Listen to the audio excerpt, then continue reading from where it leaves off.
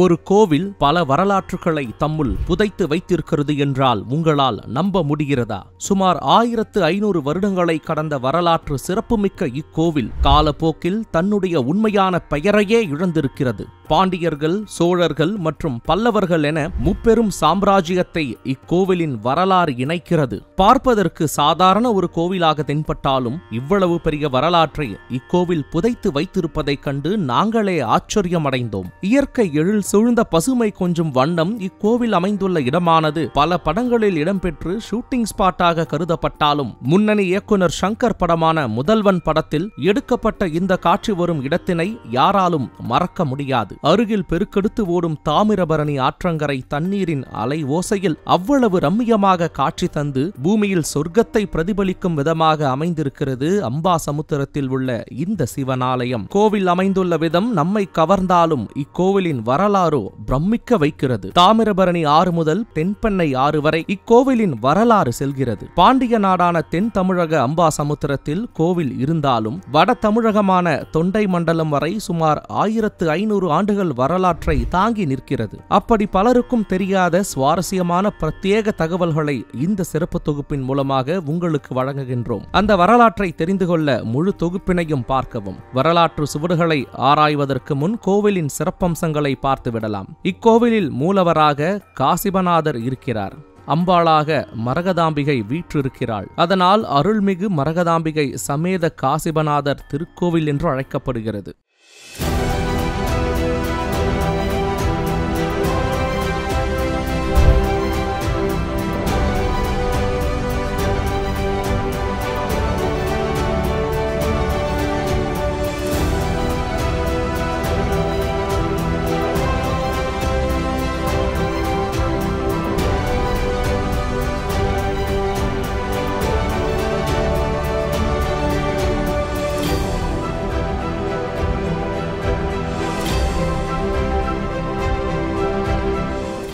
காலத்தில் சப்த ரிஷிகளில் ஒருவரான காஷ்யப முனிவர் இங்கு யாகம் நடத்தி சிவனை தரிசித்து அவர்கள் லிங்கத்தை பிரதிஷ்டை செய்ததால் மூலவர் காசிபநாதர் என அழைக்கப்படுகிறார். ஆனால் இக்கோவிலின் பெயர் வரலாற்றில் வேறு விதமாக கூறப்பட்டுள்ளது. தொடர்ந்து வரும் தொகுப்பில் அதனை பார்க்கலாம். இக்கோவிலின் தீர்த்தமான தாமிரபரணி ஆறும் ஸ்தல விருட்சமாக நெல்லி மரமும் இருக்கிறது. மேலும் இக்கோவிலின் மற்றொரு சிறப்பம்சம் ஆவுடை மேல் விஷ்ணு வீற்றிருப்பதும் மற்றும் புனுகு என்ற வாசனை பொருளால் உருவாக்கப்பட்ட நடராஜர் சிலையுமாகும். ஆனால் இக்கோவிலில் மற்றொரு சன்னதியும் இருக்கிறது. அவர் பெயர் எரித்தாட்கொண்டார். ஏன் எரித்தாட்கொண்டார் என்று அழைக்கப்படுகிறார் என்று தெரியுமா? இக்கோவிலின் ஸ்தல வரலாறு என்ன கூறுகிறது என்றால் தர்மம் தழைத்தோங்கி இருந்த காலத்தில் கேரள தேசத்து மன்னர் ஒருவர் புனர்ஜென்ம வினைப்பயனாக தீராத நோயால் பாதிக்கப்பட்டிருந்தார். இதிலிருந்து குணமடைய மன்னர் எள்ளால் ஆன ஒரு பொம்மையை உருவாக்கி அதில் தனது நோயை கடத்தி அதை ஒரு பிராமணருக்கு தானம் செய்ய வேண்டுமென அசரீரி கூற மன்னரும் வறுமை வறுமையால் வாடிய ஒரு ஏழை பிராமணரை தேர்ந்தெடுத்து அவருக்கு இந்த பொம்மையை வழங்கியதோடு பொற்காசுகளையும் ரத்தினங்களையும் வழங்கி அவர் வறுமையை போக்கினார். சில காலம் கழித்து உயிர் பெற்ற அந்த எள் பொம்மை இத்தனை காலம் அந்த பிராமணர் ஜபித்த காயத்ரி மந்திரத்தின் பாதி பலனை அதற்கு வழங்குமாறு கூறியது. அவரும் அவ்வாறு கொடுத்த பின்னர் அந்த பொம்மை மறைந்தது. பிறகு அச்செல்வத்தை வைத்து என்ன செய்வதென்று தெரியாத பிராமணர் அதனை கோவில் அர்ச்சகரிடம் கொடுத்துவிட்டு அகத்திய முனிவரிடம் அறிவுரையை பெற பொதிகை மலைக்கு சென்றார். பிராமணர் இல்லாத நேரத்தில் செல்வத்தை அபகரிக்க நினைத்த கோவில் அர்ச்சகர் ஈசனை மந்திரத்தினால் கட்டி அந்த சக்தியனை அருகில் உள்ள புளிய மரத்தில் ஆவாகனம் செய்தார். இதனை பிராமணர் கனவில் வந்து சிவபெருமான் தெரிவிக்க மறுநாள் மன்னர் முன் சபையை கூட்டி நியாயம் கேட்டார் பிராமணர். நான் அவ்வாறு செய்யவில்லை என பொய் சத்தியம் செய்ய முற்பட்ட அர்ச்சகரை ஆத்திரமடைந்த சிவன் சுட்டெரித்தார். பிறகு பிராமணர் மனமிறங்கி வேண்டியதால் அர்ச்சகரை மீண்டும் உயிர்ப்பித்தார். இதனால் அவரை எரித்தாட்கொண்டார் என அழைக்கின்றனர்.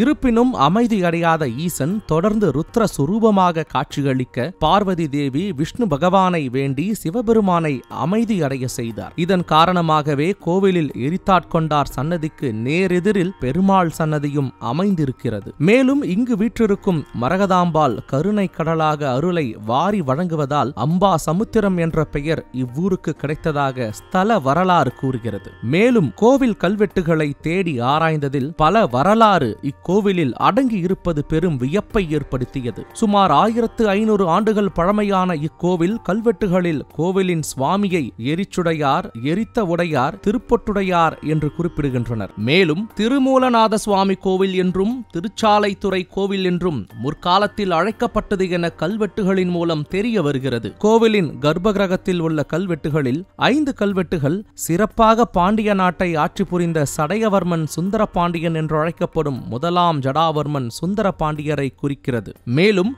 நான்கு கல்வெட்டுகளில் முதலாம் ராஜேந்திர சோழனை பற்றி குறிப்பிடப்பட்டுள்ளது. எனவே பாண்டியர்களும் சோழர்களும் இக்கோவிலை சிறப்பாக பராமரித்து வந்துள்ளனர் என்பதனை உணர முடிகிறது. இரு பெரும் சாம்ராஜ்யத்தை பார்த்த வரலாற்று சிறப்புமிக்க கோவில் என்றும் தெரிய வருகிறது. ஆனால் இருவரும் ஆயிரத்து இருநூறாம் ஆண்டுக்கு பின்னரே ஆட்சி செய்து வந்தனர். பிறகு எப்படி ஆயிரத்து ஐநூறு வருடம் பழமையான கோவில் என ஆராய்ந்ததில் இக்கோவிலினுடைய பழமையான கல்வெட்டு குறிப்பு ஒன்று நமக்கு கிடைத்தது. அக்கல்வெட்டில் வரகுண வரகுண மகாராஜா பாண்டிய மன்னர் பல்லவர்களுடன் போரிட்டதை குறிப்பிடுகிறது. வரகுண மகாராஜா முற்கால பாண்டிய மன்னர்களுள் ஒருவராவார். அவர் வாழ்ந்த காலம் கிபி எழுநூற்று அறுபத்து ஆறு முதல் எண்ணூற்று பதினைந்தாம் ஆண்டாகும். வரகுண மகாராஜா பாண்டிய மன்னர் தனது பதினாறாம் ஆண்டு ஆட்சி காலத்தில் வட தமிழகம் வரை சென்று பல்லவர்களை எதிர்த்து போரிட்டு தொண்டை மண்டலத்தில் அதாவது விழுப்புரம் பகுதியில் உள்ள அரசூர் என்ற இடத்தில் வெற்றி பெற்றதால் இருநூற்று தொன்னூறு பொற்காசுகளை இந்த கோவிலுக்கு வழங்கியதோடு மட்டுமல்லாமல் அதில் வரும் வட்டியை வைத்து நான்கு காலமும் நெய் வைத்தியம் படைத்து பூஜை செய்ய வேண்டும் என கட்டளையிட்டுள்ளார் மேலும் இன்னொரு கல்வெட்டில் சோழ மன்னரின் தலையை எடுத்ததற்கான நிலத்தை இக்கோவிலுக்கு தானமாக வீரபாண்டிய மன்னன் வழங்கியதாக குறிப்பிடப்பட்டுள்ளது. மிகவும் பழமை வாய்ந்த பாண்டியர்கள் நான்காம் நூற்றாண்டில் பயன்படுத்திய வட்ட எழுத்துக்களில் இந்த கல்வெட்டு பதிக்கப்பட்டுள்ளது. மற்றும் ஒரு கல்வெட்டில் ஆச்சரியப்படக்கூடிய தகவல் நமக்கு கிடைத்தது. இந்த கல்வெட்டின்படி முதலாம் ஜடாவர்மன் சுந்தர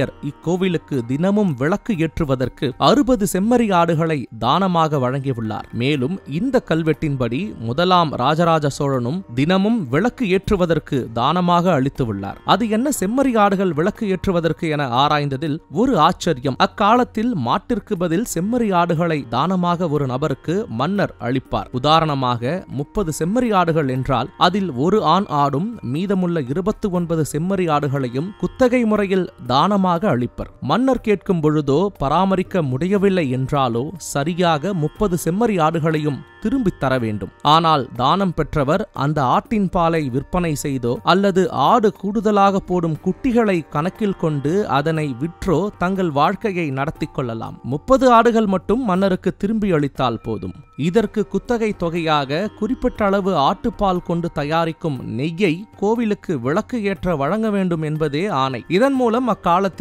ஆட்டு பாலிலிருந்து எடுக்கப்படும் நெய் கொண்டு கோவிலில் தீபம் ஏற்றப்பட்டுள்ளது என நமக்கு தெரிய வருகிறது. பாண்டியர்களும் சோழர்களும் இக்கோவிலை சிறப்பாக பராமரித்து வந்துள்ளனர் என்பதனை அறிய முடிகிறது. முதலாம் ராஜராஜ சோழனின் கடைசி காலகட்டத்தில் இக்கோவில் புனரமைக்கப்பட்டுள்ளது என்று கல்வெட்டுகள் மூலம் தெரிகின்றன. மேலும் இக்கோவில் சேர நாட்டு மன்னரையும் பல்லவ சாம்ராஜ்யத்தையும் குறிப்பதால் நான்கு பெரும் சாம்ராஜ்யத்தை பார்த்த கோவில் என்று அக்கோவிலை பார்க்கும் போதெல்லாம் நம்மை பிரமிக்க வைக்கின்றது. அடுத்த முறை திருநெல்வேலி மாவட்டத்தில் உள்ள இக்கோவிலுக்கு செல்லும் பொழுது கடவுள் தரிசனம் என்ற ஒன்றை மட்டும் மனதில் வைத்து செல்லாமல் பல வரலாறுகளை சுமந்து மிகப்பெரிய சாம்ராஜ்யங்களை கடந்து வந்த சிறப்பு வாய்ந்த கோவில் என்ற எண்ணத்தினை மனதில் கொண்டு செல்லுங்கள். அதுவே ஆண்டாண்டு காலமாக இக்கோவிலை பராமரித்து வந்த நம் முன்னோர்களுக்கு நாம் செய்யும் நன்றி கடனாகும்